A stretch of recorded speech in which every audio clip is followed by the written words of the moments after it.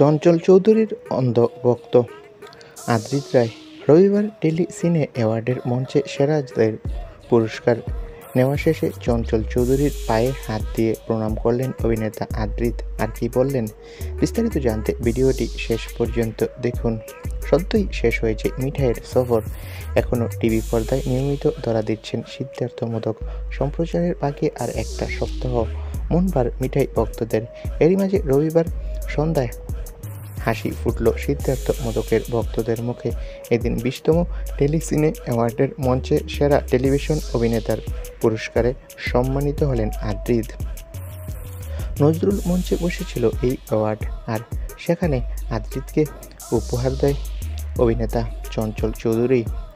বাংলাদেশি অভিনেতা চঞ্চল চৌধুরীর অন্ধ ভক্ত অভিনেতা পাঁচই চঞ্চল চৌধুরীর প্রণাম করেন।